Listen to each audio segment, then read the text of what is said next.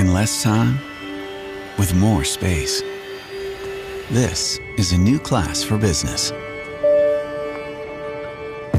This is how I fly.